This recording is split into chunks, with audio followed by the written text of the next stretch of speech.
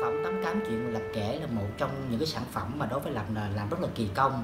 Bởi vì uh, nó khó khăn từ lúc chuẩn bị cho đến khi mà bấm máy và kể cả hậu kỳ và những giai đoạn cuối cùng khi ra phim. Và một trong những cái giai đoạn đầu mà gặp phải khó khăn đó chính là cái việc mà đi tìm cái bối cảnh. Và đây là bối cảnh lúa một trong những cảnh đầu tiên vào phim. Sẽ rất là nắng các bạn ơi nếu như mà phim quay đây thì sẽ bắt đầu là đội đội nắng không bay. Không mà đợi đi thà nắng còn hơn mưa ha. Cô ngày con quay phim ờ, cô cho tụi con ngồi tập trung đây. Rồi rồi không sao hết. Cái gì vậy con? Nữa là tôi tôi tôi tôi quạt hết rồi. Đổ hết rồi dù cái cái cái nào nó cũng 10 ngày ờ, nữa người ta gặt rồi cái này này còn 10 ngày nữa là gặt rồi mấy kêu thấy nó còn nhỏ nhỏ nhỏ chứ có bông vậy là nguyên một cái mênh mông này là tháng nữa là coi như là tàn tàn phá phá. Hết. ờ ta gặt xong cái xả lại. Thì đến cái ngày bấm máy thì lúa vẫn chưa lên cho nên là cuối cùng là vẫn không tìm được cái cánh đồng lúa nào của chi cả. Và một thời gian sau thì đoàn làm phim mới quyết định là tìm xuống Long An thì cũng có rất là nhiều lúa và tìm rất nhiều nhiều nhiều. Qua cái nhiều cái khảo sát nhiều cái mùa vụ của lúa thì cuối cùng mới tìm được cái bối cảnh rất là ăn ý. Và bối cảnh thứ hai đó chính là tìm bối cảnh trong nhà cũng như là một khu vườn có không? cái giếng. Thì đoàn quyết định đến một cái khu du lịch là được tên là một thoáng quê hương. Thì ở đó có rất là nhiều những cái mô hình hoặc là những ngôi nhà mang rất là nhiều cái phong cách văn hóa của ba miền Bắc Trung Nam và kể cả Tây Nguyên nữa. Nhiều lắm là một khu du lịch rất rộng. Và hiện tại thì khu du lịch đó nó đang bị đóng băng và không có hoạt động. Thì khi mà nghe được có một cái khu du lịch đó thì đoàn đã quyết định tới đó và tìm hết tất cả những cái bối cảnh phù hợp với phim thì cũng đã tìm được một vài phân đoạn khá là ưng ý. Thì à, xem quan sát thì trong đó có có vườn nè có giếng nè có cả cái giếng cái giếng thật luôn đã liên hệ được với cái chủ chỗ đó rồi. Thì mọi thứ đã bắt đầu đi vào cái hợp đồng thì bắt đầu à, lên kế hoạch những ngày quay. Thì khoảng thời gian sau thì ở bên đó mới báo lại bên cho ekip của của đoàn làm phim là nguyên cả một cái khu du lịch đó là đã đập nát luôn. Đập không còn một cái gì hết. Để người ta có thể xây lại và cải thiện lại một cái chỗ là đẹp hơn và hoành tráng hơn. Thì lúc đó là cả đoàn phim điêu đứng. Nó chết rồi bây giờ đã tìm được những cái cảnh ưng ý rồi mà bây giờ lại đập nát hết thì bắt buộc mình phải tìm một cái cảnh khác. Thì lúc đó là mình tự ăn của mình là ha, chắc là ông trời chưa cho mình quay ở đây và có thể cho mình có cơ hội khác để mình tìm một cái nơi nó phù hợp hơn và đúng là như vậy các bạn ơi lập cũng như ekip đã ờ, xuống dưới Bình Dương và tìm ờ, một cái căn nhà cổ đổ cao thứa. Thì ở đó là một căn nhà cổ lập nghe nói là, là đã 100 năm hơn 100 năm rồi. Thì xuống đó thì chỉ có vỏn vẹn có khu nhà cổ đó thôi mà đã đáp ứng được rất nhiều cảnh phim trong tấm cám chuyện mình lập kể rồi.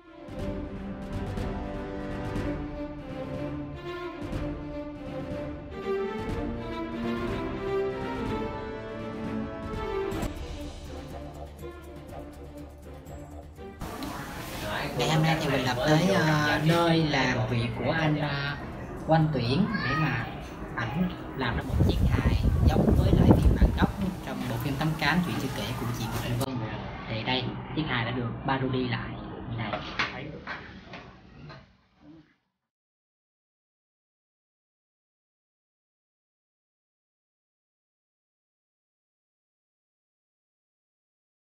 trong cái hôm chụp hình poster thì thực sự khó khăn nó cũng xảy ra trong cái ngày hôm đó. Thì em rất là cảm ơn anh Cao Tính Thạch là anh chụp hình vì ngày hôm đó đã chụp rất là hết mình, hết tất cả những nhân vật, poster, định trang. Bởi vì sao? Bởi vì nó xui một cái là cái ngày mà chụp hình thì anh Cao Tính Thạch bị gãy một tay và bắt buộc anh phải chụp hình bằng tay còn lại, chỉ một tay thôi. Anh cứ để cái máy như vậy. Anh cứ chụp chụp chụp chụp ngồi canh bu xuống. Nói trời ơi, mỏi quá mỏi quá. Mình đọc, phải cố gắng cầm lên chụp lại. Đó. Lập còn nói đùa là trời ơi, ngày hôm nay anh chụp xong là anh về, anh phải lấy gụ anh bóp. Anh bóp cái tay ra, tại vì anh sử dụng có một tay à. Cho nên là em rất là cảm ơn anh vì đã à, chụp hết mình và cho tụi em có những cái tấm hình rất là đẹp về poster cũng như là tạo hình về nhân vật. Ngoài bốn ekip may đồ thì có ba ekip makeup cùng với rất là nhiều bạn à, phụ makeup khác thì ba ekip makeup gồm có ờ, anh Tuấn Huỳnh, anh ờ, Tuấn Anh và Hậu Nguyễn. À, mọi người rất là ráo riết makeup tạo hình và rất là hào hứng. Cứ sáng tạo make up kiểu này makeup kiểu kia. Nhưng mà cũng có rất là nhiều anh chị sáng tạo nhưng mà lập nó không cứ giữ hết tất cả mọi thứ đúng với lại cái tạo hình gốc để giữ cái thần thái giữ cái cái sự quen thuộc của nhân vật này để mang cái hiệu ứng cao nhất đến với tất cả các bạn khán giả. Để tiến độ một tiếng hồ rồi. Thật sự là rất là rất rất là mệt luôn chứ không phải mệt thường đâu. Theo tiến độ là chỉ tốn khoảng ờ, từ một tiếng tới khoảng uh, 45 phút là tới được đây rồi nhưng mà chạy tới hai chạy tới hai tiếng rưỡi là khi mà thuê xe thì ờ, có một cái anh tài xế. Thì anh tài xế đó thì ảnh cứ đòi chạy theo con đường của ảnh vì ảnh tin rằng là chạy cái con đường đó nó sẽ nhanh hơn. Thì ở đây cũng thuyết phục rằng là ờ mở cái cái địa chỉ lên cho chạy, anh cũng không nghe mà mở cái Google map lên cho chạy ảnh cũng không chịu đi. Mà ảnh bắt buộc là phải chạy theo cái hướng của ảnh. Thì thôi bây giờ ảnh là tài xế cứ cho anh chạy và tất cả mọi người thiếp dần đi trong cái ngủ còn ảnh thì ảnh chạy. Ảnh chạy làm sao gần 2 tiếng rưỡi đồng hồ mới tới nơi. Thì lúc đó đã trễ tiến độ trên cái danh sách là chúng ta, trên cái danh sách mà chúng ta đã lên kế hoạch đó thì đã trễ tiến độ gần hơn một tiếng.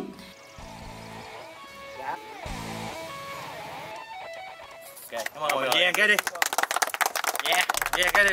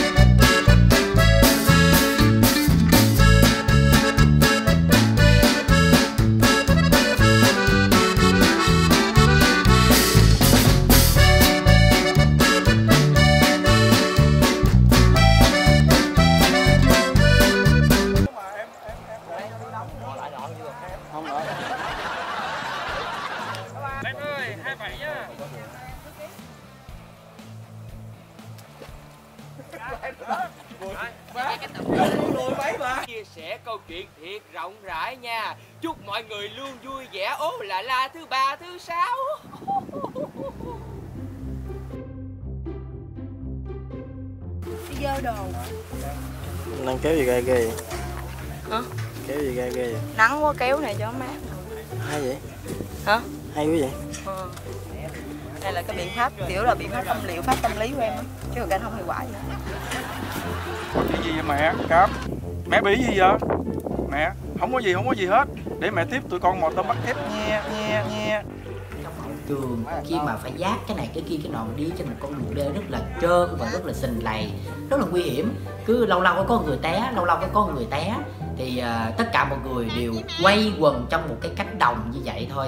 Cứ quay ở góc nào thì tất cả mọi người cứ dọn đồ né cứ quay góc này cứ dọn đồ né và cả một ngày là quay đúng chỗ đó thì có được rất là nhiều kỷ niệm thì các bạn có thể xem qua những cái cảnh hậu trường. Lùi 50 mét nữa đi dân.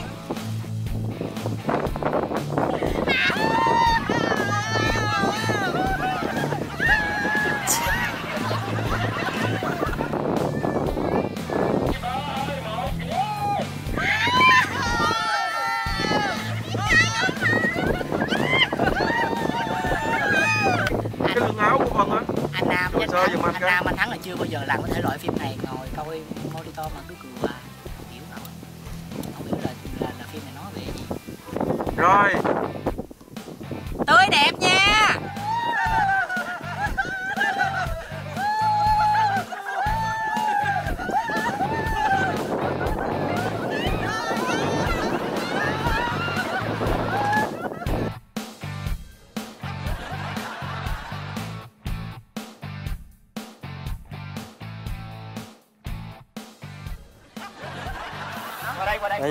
cái. Trời ơi mấy cái anh đếm Tết Tết mười tới mười mấy rồi. Muốn khóc luôn. Mà lông não lỏng lỏng xương hết rồi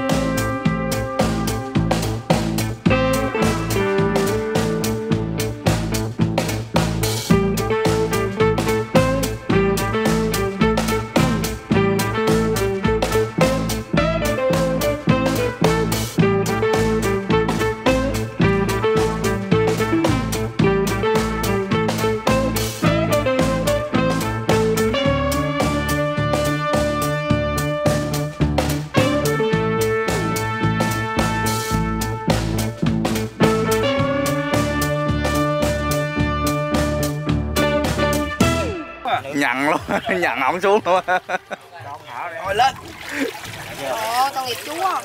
Coi coi coi coi ướt ướt lên nó chạy Rồi cởi áo đi. đi ra hô hấp nhân tạo cho Cúi xuống đi chú để cho đừng ướt cái quần cởi áo mà thôi. cái là kê cái lưng xuống góc luôn góc luôn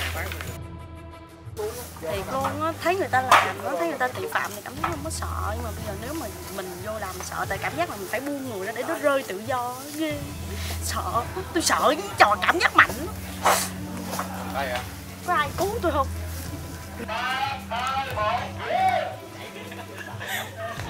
Dậy nam ơi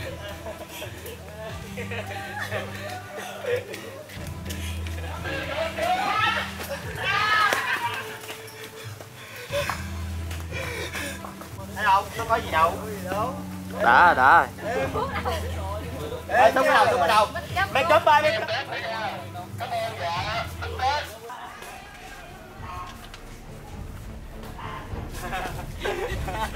Thôi, thôi, thôi, thôi, buông, buông, buông Nè, nè, nè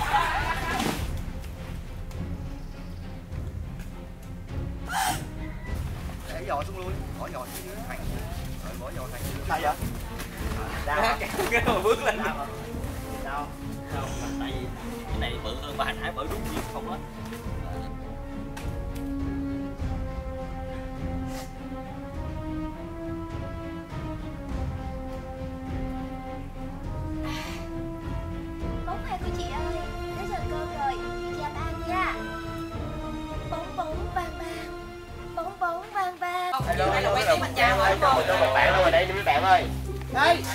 có nước sao em chưa tôi tí ơi. hưng cho hưng mạnh bê bê bê bê vô giật rồi từ từ từ từ từ từ từ từ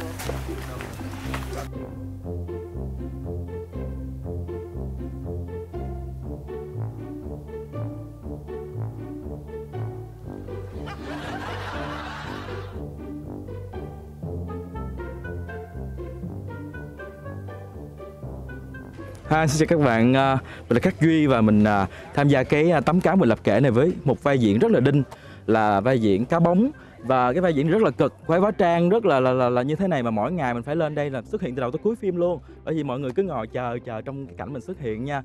Đó nó sẽ rất là đặc biệt rất là dễ thương. Cũng sẽ có lý do là tại sao con cá bóng này nó ghê như vậy. Anh đưa chai, Rồi, anh rồi, đưa rồi. chai nước vô đây thủ đi, có Rồi, gì rồi. sao anh không phun ra thì, thì, thì ngậm cái khác. Con dạ vừa rồi là bụp cái lên. Ừ. vừa anh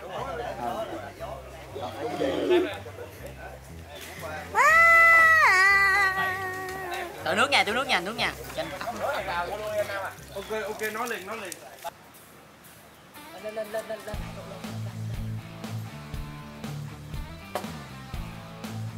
À, tắm, tắm, tắm, xuống, xuống, xuống con, xuống. chụp ra được cứ ngửa ra đây Nhăn lên, nhăn nhó lên.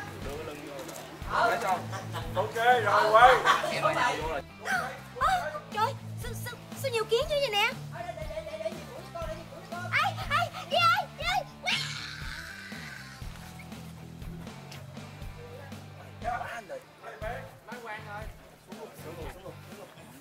Thì à, trong tất cả các anh anh em trong đoàn thì lập ấn tượng nhất là chú Hùng.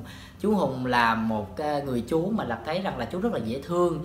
Ban đầu nhìn chú thì râu ria bậm trợn thôi, nhưng mà thật ra chú rất là dễ gần và dễ thương là hầu như là kêu cái gì cũng làm hết tại vì chú làm ở, ở mặt ở hậu trường khi mà ở ngoài phim trường cần cái gì đó ờ, cần cái ghế cái bàn đó là chú bắt đầu chú làm ngay chú không từ năng một cái gì cả. Và chú Hùng cũng làm một cái nhân vật một cái diễn viên mà lập kêu chú vào vai ờ, cô tắm khi mà leo cây câu đã để lại rất là ấn tượng sâu sắc trong lòng của tất cả mọi người khi xem. Và bây giờ làm xem lại cái cái phân đoạn đó là cũng rất là mắc cười tại vì chú diễn rất là dễ thương và chú diễn rất là thật rất là là, là tâm lý thật của mình. Và ờ, uh, lập rất là cảm thấy thương chú khi mà chú lúc nào cũng hết mình và lan xả. Cái cảnh mà chú mà chúi đầu xuống dưới cái giếng mà lấy cái điện thoại lên đi, làm cho lập rất là thương và ai cũng phải xót khi mà chú đã xả mình mà không ngờ chú lại làm như vậy. Con rất là cảm ơn chú hùng vì đã hỗ trợ đoàn làm phim của con rất nhiều. Cảm ơn chú. Anh Hải này vừa đã nói ngồi giờ Nấu hài Ăn cũng lá gác rồi Lỗi xin lỗi gì mà xin lỗi? Cầm máu bao ban bó cho tôi lên đi chị hai Mày Mày quan cái này chị Một phim á là Em chửi Đứng. Bỏ mát ấy Tưởng theo luôn.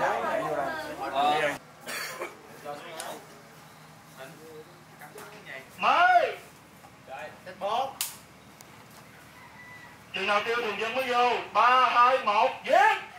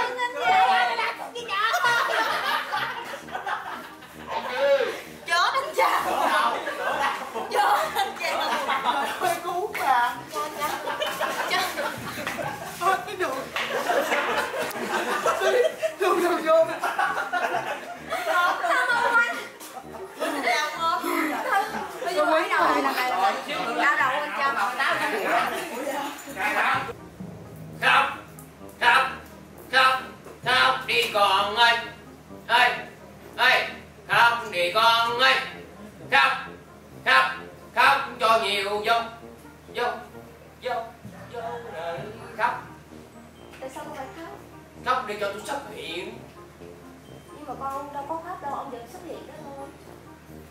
Ờ ha nặng không dạ dạ. Nó nó cứ nó cứ quạt nó nó nó chì đó nó gặp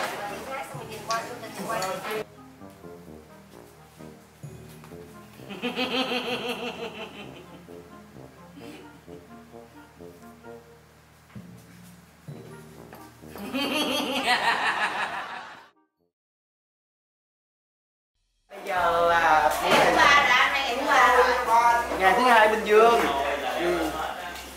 giờ là đã gần 8 giờ rồi và bây giờ mình bắt buộc phải là 8 giờ ăn xét để mọi người có thể quay hết cái kịp tiến độ. Thì bây giờ rất là trễ rồi. Hôm qua chúng ta phải quay tới một giờ mấy mới đóng máy.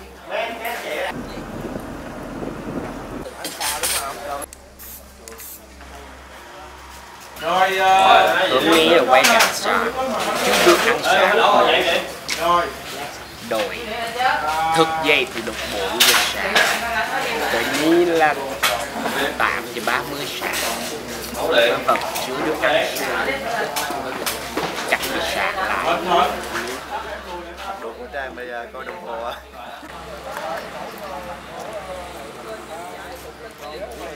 khôi! Là khúc này là khúc cuối em giật mình á. Nhìn bên đây thấy. Nhìn bên đây cũng thấy. Trên kia cũng thấy. Nội sau lưng em dạ không em em chỉnh em chỉnh mấy bạn ở trên đó rồi dán dán nằm cho nó À, chứ chứ nó đầu ra rồi.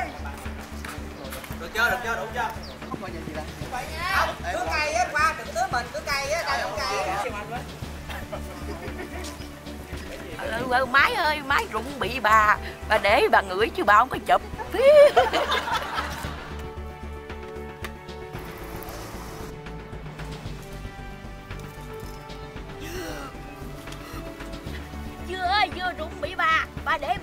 chứ bà không có ăn. Cảm ơn thân dừa giờ bị giật chồng rồi.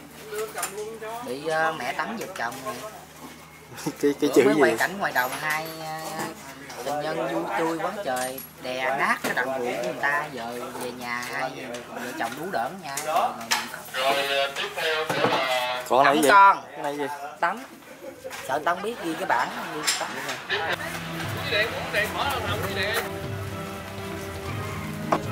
mưa hoài hai ngày rồi đó ngày nào cũng mưa hết trơn. Bây giờ này là mưa là à, anh em lo chạy không à. Mà hả cũng hơn là mấy cái cảnh nắng quay hết rồi. Rồi bây giờ còn lại mấy cái cảnh mưa thì bây giờ là ekip chấp nhận là quay mưa luôn để cho kịp tiến độ. Tại vì à, hôm nay là ngày cuối cùng ở bình dương. Qua ngày thứ hai quay ở Bình Dương thì gặp một cái tình trạng là thời tiết xấu trời mưa thì lúc mà quay cũng đã rất là tính và lo rằng là nếu như trời mưa thì mình sẽ làm gì? Thì ở trong cái cái cái kịch bản của Lộc Đá Biên ấy, thì không có cái bối cảnh nào mà quay ở trời mưa hết. Nhưng mà khi mà trời nó mưa thì mưa thì xem mây xem trời xem thời tiết thì mưa tầm khoảng gần 2 tiếng. Thì không thể nào mà đoàn làm phim tê liệt trong khoảng 2 tiếng đó cho nên là bấm bụng. Mình kêu một cái phân đoạn tất cả mọi người dân làng tám thường dân bước ra mưa và quay dưới mưa rằng là chỉ trích cái bà mẹ cáp lúc còn trẻ. Thì chỉ trích bất chấp, chỉ trích cả trời nắng và trời mưa. Cái điều đó nó thể hiện được rõ hơn được cái ý đồ của lập về tám nhân vật thường dân mà luôn chỉ trích những người khác.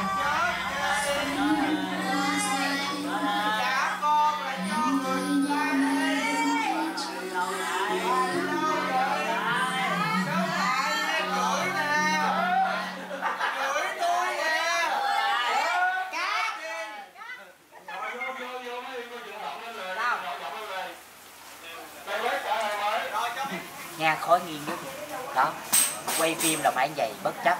Cho dù nhân vật mình có như thế nào đi nữa thì cũng không có sợ. Đó. Muốn lên bàn thờ lên bàn thờ. Mà đúng rồi thôi đúng đó. Phải hy sinh vì nghệ thuật chứ. Tôi sợ dám phân đoạn cầu cơ là một trong những cái phân đoạn mà lập nghĩ là sẽ bỏ tại vì đó là một phân đoạn khó, sử dụng nhiều kỹ xảo và phải quay vào ban đêm mà phải ngoài vườn nữa.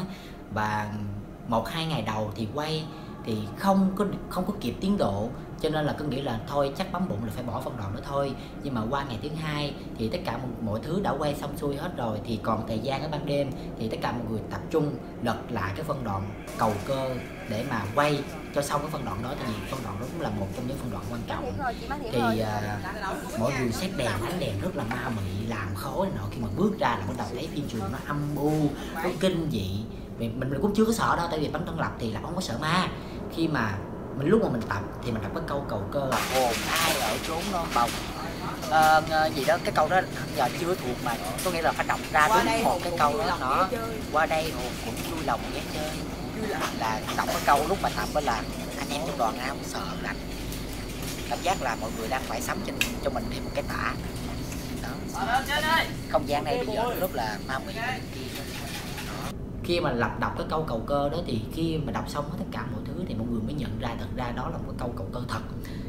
Đọc xong thì tất cả mọi người lạnh cả người và có cảm giác là xung quanh mình có rất là nhiều người đang đứng xem mình quay phim.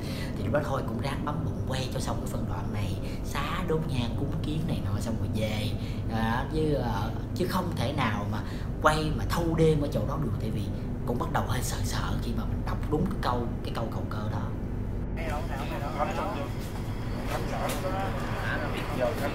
Không hết hồn ai mà hết hồn đâu Vô đoàn làm phim mà nó có hiện ra đi vòng vòng ai quan tâm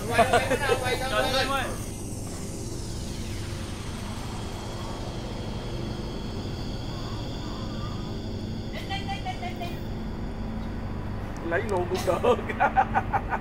Cái chị vậy à? Mày ngủ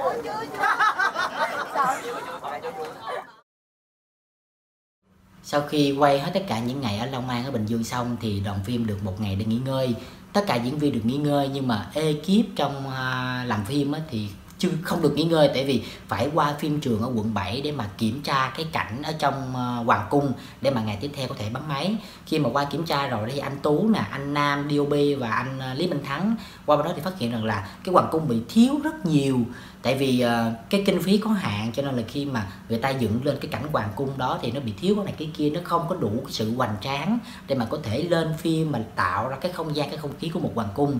Và thế là trong cái ngày đúng ngày hôm đó là phải tăng cường nhân lực sử dụng hết tất cả những gì mà trong cái cái cái cái cái, cái phim trường nó có sẵn lấy ra lắp ráp dồn lấy cái này đắp cái kia sơn thêm mua vải về cắt ra thêm đắp thêm. Nói chung là tận dụng hết tất cả những gì có sẵn hoặc là mua thêm những gì nó linh tinh linh tinh để mà ráp ráp ráp ráp lại mới có được cái cảnh hoàng cung hoàn chỉnh mà tất cả mọi người. Mấy cảm xưa nay độc ác sớm hôm bày cho mù mua với ai? Ôi tấm ơi, cô dọn xong chờ tấm ơi.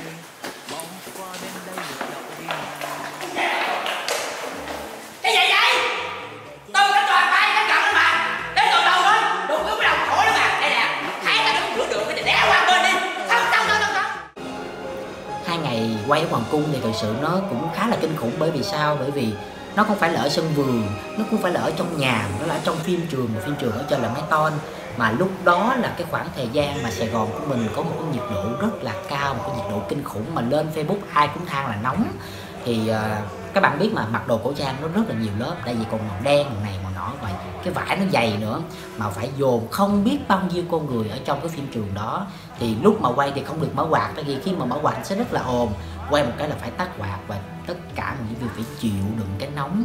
Mồ hôi nó cứ chảy, trong lưng nó chảy, mà nó chảy hai giọt, cảm giác là cái giọt kia nó chảy nhanh hơn giọt này luôn đó, là biết được nó nóng cỡ nào. Và khi mà tắt tắt máy một cái là mở quạt lên liền mọi tất cả mọi người ùa ra ngoài để hít cái bầu không khí mát mẻ xong rồi kia quay rồi ùa người trở vô cái phim trường. Bởi vì cái ngày mà quay ở hai ngày ở phim trường rất là cực cho tất cả diễn viên cho nên là qua cái clip này là rất là cảm ơn tất cả các bạn các anh chị em nghệ sĩ cũng như là à, các anh ở trong đoàn phim đã hỗ trợ rất là cực lực cho lập để quay hai ngày rất là khó ở trong uh, phim trường mà cùng. Quyền lực làm gì?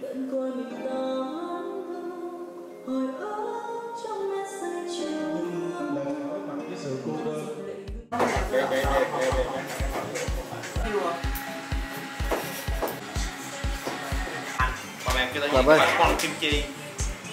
Già chưa. Dạ. Dạ chưa Dạ. Em cái gì này. Thì ra tương lai cái mặt mình già nó sẽ là như vậy. À, sợ quá. Già mũi cao. Mũi cao mà răng trắng quá nè. Mọi người thấy mình có giống cô hồng sát không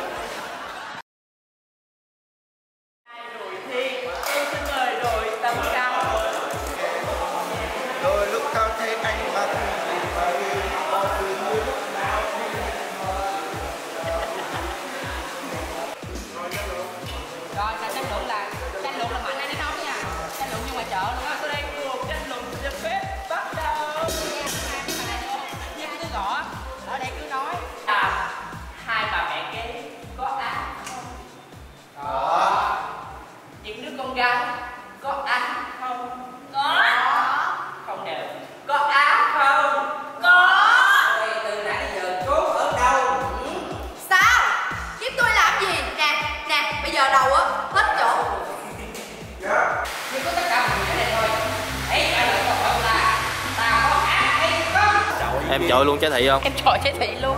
Hơi lộ tóc giải ra chọi luôn đó. Một hơi không có gì chọi lên. Giải ra chọi luôn. Gắn lại tay lại giùm em. Hận, hận nó tới mức đó luôn hả? Hận, hận chứ. Cho quay cái người phim mà hận Hận đạo diễn, hận đăng phim đó. Nguyên đóng củi nên cũng cấm cổ à. Hơi coi nè. Rút nhanh. Máy đang chạy. Ba hai một giết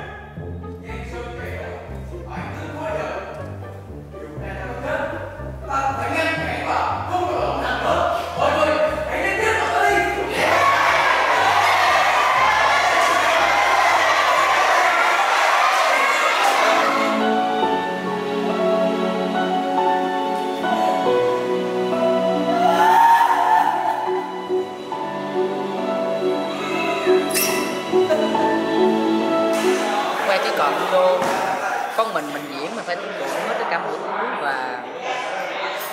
nãy có một đoạn la la xong cái tự nhiên tất cả mọi thứ trước mắt tối sầm hết. Cứ, cứ nghĩ là là là sẽ ngất rồi tại vì sáng giờ quay nhiều quá hồi nãy là thoát hết hết tất cả tâm lý ra ngoài la một cái thiệt là lớn. Tự thấy choáng váng. Mà cố gắng giữ là bình tĩnh để mà quay tiếp tục. Cũng này là phần đoạn cuối em. Hả? Phần đoạn cuối à? Này phân đoạn này là phân đoạn quan trọng nhất của phim này cũng là quay vào cuối ngày ngày cuối cùng trong năm ngày tất cả mọi người đã cũng mệt. Nhưng mà mọi người vẫn luôn nhiệt tình vẫn luôn hết mình. Rất là cảm ơn tất cả mọi người đã đồng hành cho đến những ngày cuối cùng. Em có hài lòng những ngày quay vừa qua năm ngày vừa qua thật sự lập rất là hài lòng. Thật sự rất hài lòng. Ờ, thì thước phim được quay rất là đẹp vì có anh à, anh anh Nam DOP về góc máy thì là hoàn toàn không không bằng cãi nữa, nó phải là anh Nam là rất giỏi và xét những góc máy rất xuất sắc. Thì à, có bộ phim này chất lượng hay không cũng là nhờ vào tư duy của anh, đạo diễn Lý Minh Thắng và hình ảnh góc máy của anh à, anh Nam DOP hy vọng là khi sản phẩm này ra rồi đó tất cả mọi người có sẽ có những cái thay đổi khác hơn và tích cực từ những sản phẩm trên YouTube. Thì à, dù ở môi trường này chăng nữa thì sản phẩm youtube nếu được đầu tư một cách nghiêm túc và một cách hết mình thì nó vẫn là một cái sản phẩm chuyên nghiệp và đáng được trân trọng. Tập Tám trang là một trong những câu chuyện của nổi tiếng trong kho tàng cổ tích Việt Nam. Chuyện kể về cuộc đời của cô tóc xinh đẹp ngoan hiền, mẹ mất sớm. Và Con câu chuyện tấm trang ai không biết, phải hoài. Kể chuyện khác đi vậy cái chuyện gì hấp dẫn vẫn là chuyện của tất cả. Nhưng phải kể theo cách của quỳnh.